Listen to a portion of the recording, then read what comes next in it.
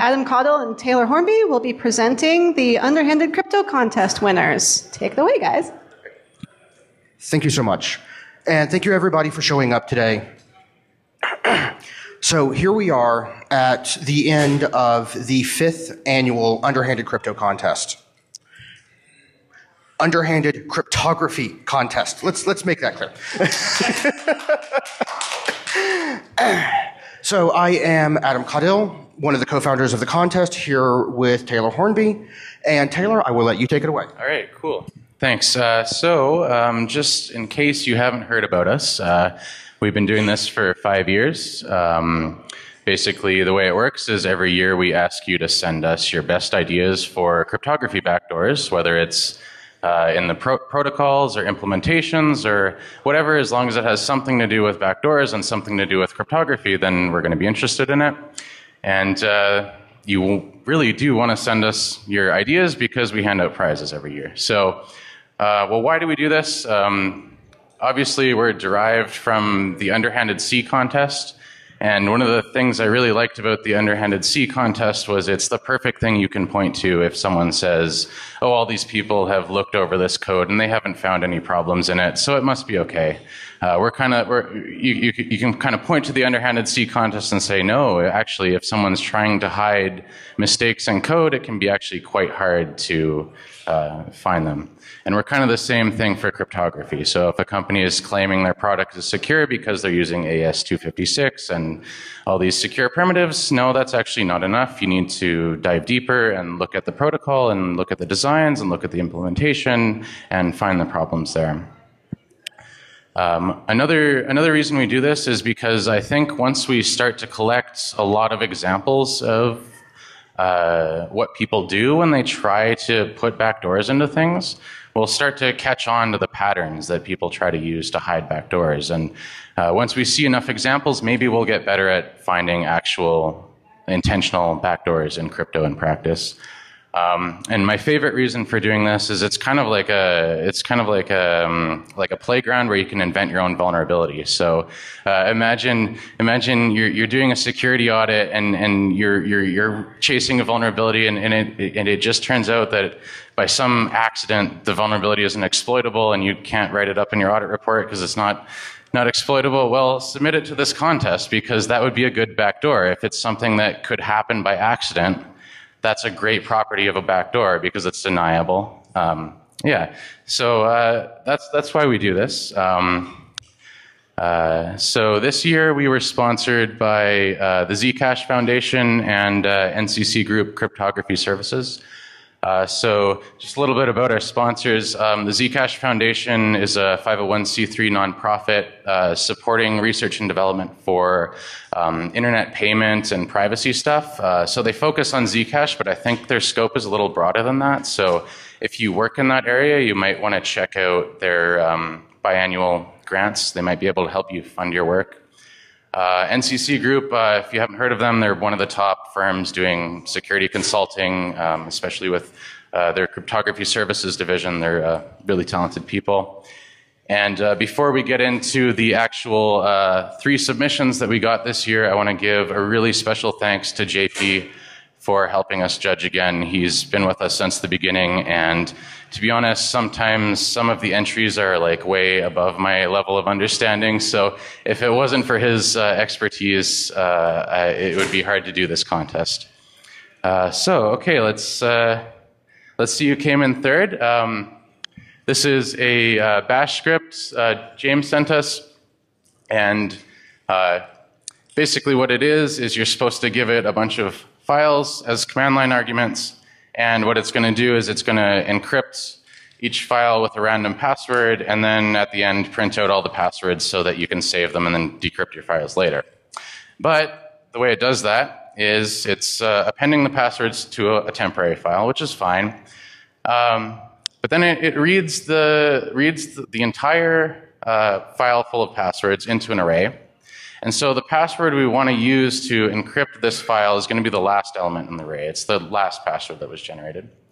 And what this code here in bold does is it's supposed to access the last element of the array, but of course it doesn't. It accesses one past the last element. And that means all the files are going to be basically encrypted with the empty string. So trivially decryptable files. Moving on to uh, second place, um, Ella Rose sent us a neat uh, um, key agreement protocol. And the way this works is there's uh, two public parameters called E and N. And uh, so when Alice is generating her key pair, she just generates a random 256 bit number called X, and that's her private key. And then to get her public key, she takes X, multiplies it by this huge number E, uh, adds another random number R, which I won't tell you the details of, and then does that modulo N.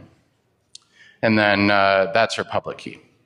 Bob does the same thing to get a public and private key pair. And then when Alice and Bob come together and they want to agree on a shared secret, they um, basically Alice will take her private key, multiply it with Bob's public key, and Bob will take his private key and multiply that with Alice's public key.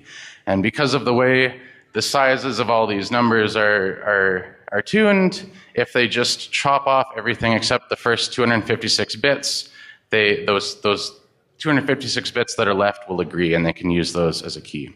So this is the backdoored key agreement scheme. Where's the backdoor? Well, the backdoor is in this parameter E here, and I'll explain how that works. So basically, we're going to pick E to be special in some way.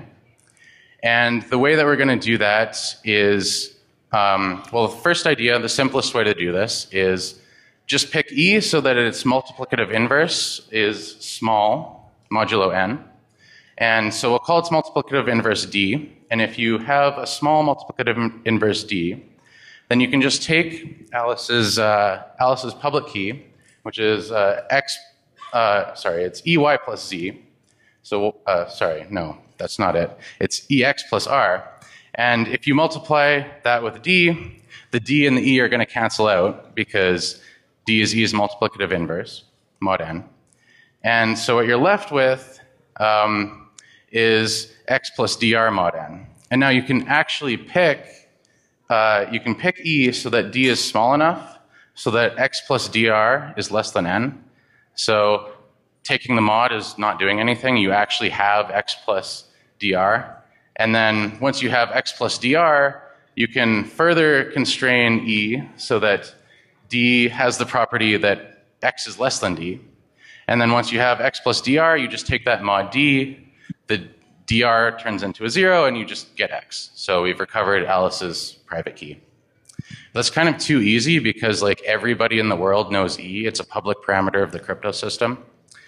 Uh, so we need to make this like a little bit harder for like other people to exploit. And the way that this works is instead of making E have a small multiplicative inverse mod n, you make it have a small multiplicative inverse mod n minus k, where k is some random number.